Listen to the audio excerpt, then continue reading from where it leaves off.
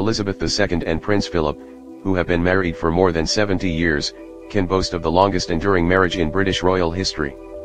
Their love story, which first began when a 13-year-old Elizabeth developed a crush on her older third cousin, has lasted through Elizabeth's duties as queen, as well as Philip's need to adjust to life as her consort. Whether dealing with pushy royal courtiers, dynastic name squabbles or press scrutiny and scandal, they've managed to remain a united front. Elizabeth was smitten with Philip since she was a teenager. Princess Elizabeth encountered Prince Philip of Greece, her third cousin, a couple of times before love struck. They both attended the 1934 marriage of his cousin to Elizabeth's uncle, and were present for the coronation of Elizabeth's father, George VI, in 1937. But it wasn't until July 1939 that a 13-year-old Elizabeth was smitten by an 18-year-old Philip, who was then a naval cadet. While the royal family was visiting the Royal Naval College, Philip was one of the few healthy cadets amidst an outbreak of mumps and chickenpox. He was selected to keep Elizabeth and her younger sister, Princess Margaret, company, likely due to some behind-the-scenes pushing from his uncle Louis Dickie Mountbatten. According to Marion Crawford, governess to the two princesses, Philip impressed Elizabeth with his ability to jump over tennis nets. The next day Philip joined the royal family on their yacht, Victoria and Albert, for lunch. A young Elizabeth continued to admire him as he ate copious amounts of shrimp, followed by a banana split. Crawford would relate that Elizabeth couldn't take her eyes off Philip, though at that point the older teen didn't reciprocate her feelings. The British royal family tree, 10 members in line to succeed the throne. The pair kept their engagement a secret for a year. Elizabeth and Philip wrote to each other after World War II broke out, Philip served in the British Royal Navy. When they met at Windsor Castle for Christmas in 1943, Philip got to see the future queen perform in a pantomime of Aladdin, and observers witnessed signs of a blossoming romance. Elizabeth kept his photo on her mantle, while Philip carried her picture with him during the war. The romance continued in peacetime, with outings such as visits to the theater. In 1946 Philip asked Elizabeth to marry him, she agreed without even seeking her parents' permission. Her father, understanding his daughter's feelings but worried about her age, asked them to wait a year until Elizabeth was 21 before publicly announcing the engagement. Courtiers around the royal family were less welcoming. Though Philip was a royal who, like Elizabeth, could claim Queen Victoria as a great-great-grandmother, his life held more rough spots than Elizabeth's. A baby when his family had been exiled from Greece, he was seen as foreign, poor, and not showing proper deference to the British royal family. But Elizabeth was determined to marry the man she wanted, and her family had come to appreciate her fiancé. Their engagement was announced on July 9, 1947. Philip had to give up his titles in order to marry Elizabeth. Before getting married, Philip gave up his titles and place in the line of succession to the Greek throne. He was naturalized as a British citizen and became Philip Mountbatten, he'd used no surname as a prince. He was also confirmed in the Church of England. And he agreed not to invite his sisters to the wedding, wartime memories were still fresh and all three were married to Germans. Thanks to his father-in-law George VI, on his wedding day of November 20, 1947, Philip received the titles Duke of Edinburgh, Earl of Merioneth and Baron Greenwich.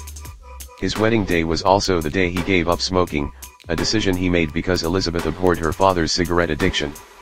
On her honeymoon, Elizabeth wrote to her parents that she and her new husband behave as though we had belonged to each other for years. Philip is an angel.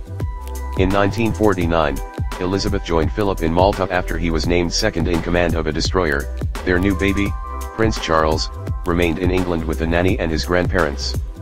10 photos of the Queen Elizabeth II's historical coronation. Philip tried to make the best of it when Elizabeth was crowned earlier than expected. Rumors circulated that Philip was unfaithful. Some of Philip's activities, like his gentleman's lunch club and the tours he took in the 1950s on the Royal Yacht Britannia, led to speculation about possible infidelities. In 1957, the Baltimore Sun carried a story that said he was romantically involved with an unnamed woman whom he met on a regular basis in the West End apartment of a society photographer. The palace followed this report with a denial, it is quite untrue that there is any rift between the Queen and the Duke. The Crown suggests Philip was involved with a Russian ballerina, but there's little evidence to support this. Philip once addressed the logistics of his conducting affairs, asking, How could I? I've had a detective in my company, night and day, since 1947. But Sarah Bradford wrote in her biography of Elizabeth, since the alleged party girl affair in the mid-1950s, Philip has learned to carry on his flirtations and relationships in circles rich and grand enough to provide protection from the paparazzi and the tabloids.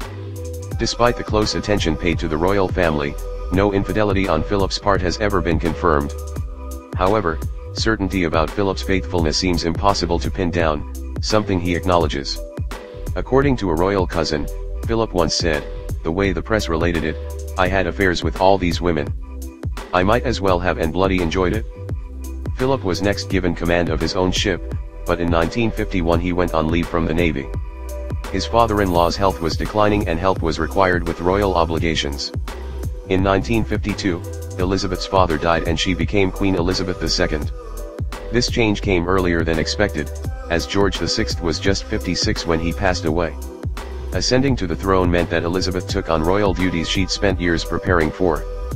But Philip had to adjust to being his wife's consort, such as needing to walk a few steps behind her in public. He later admitted, I thought I was going to have a career in the Navy, but it became obvious there was no hope. There was no choice. It just happened. You have to make compromises. That's life. I accepted it. I tried to make the best of it. After Elizabeth became queen, Philip's uncle Dickie Mountbatten declared, the House of Mountbatten now reigns. Yet Elizabeth's grandmother, Queen Mary, and Winston Churchill, then the Prime Minister, did not agree. They spoke to the new monarch, who decreed that she and her descendants would rule as the House of Windsor. An upset Philip said to friends, I am the only man in the country not allowed to give his name to his own children. I am nothing but a bloody amoeba. Rumors circulated that Philip was unfaithful. Some of Philip's activities, like his gentleman's lunch club and the tours he took in the 1950s on the Royal Yacht Britannia, led to speculation about possible infidelities. In 1957, the Baltimore Sun carried a story that said he was romantically involved with an unnamed woman whom he met on a regular basis in the West End apartment of a society photographer. The palace followed this report with a denial, it is quite untrue that there is any rift between the Queen and the Duke. The Crown suggests Philip was involved with a Russian ballerina, but there's little evidence to support this. Philip once addressed the logistics of his conducting affairs, asking, How could I? I've had a detective in my company, night and day, since 1947. But Sarah Bradford wrote in her biography of Elizabeth, since the alleged party girl affair in the mid-1950s, Philip has learned to carry on his flirtations and relationships in circles rich and grand enough to provide protection from the paparazzi and the tabloids. Despite the close attention paid to the royal family, no infidelity on Philip's part has ever been confirmed. However, certainty about Philip's faithfulness seems impossible to pin down, something he acknowledges. According to a royal cousin, Philip once said, the way the press related it, I had affairs with all these women. I might as well have and bloody enjoyed it. Elizabeth calls Philip my strength. In 1957, Elizabeth made her husband a prince of the United Kingdom. And in 1960, she acknowledged his ongoing unhappiness about their children not taking his name by deciding that their descendants could use the surname Mountbatten Windsor. However, her compromise only went so far, as the royal family would continue to be known as the House and Family of Windsor. Lord Charteris, private secretary to the Queen, once said, Prince Philip is the only man in the world who treats the Queen simply as another human being. He's the only man who can. Strange as it may seem, I believe she values that. It's one reason why their love story resulted in such a long-lasting relationship. While celebrating their 50 years of marriage in 1997, Elizabeth lauded Philip, he is someone who doesn't take easily to compliments but he has, quite simply, been my strength and stay all these years, and I, and his whole family, and this and many other countries, owe him a debt greater than he would ever claim, or we shall ever know.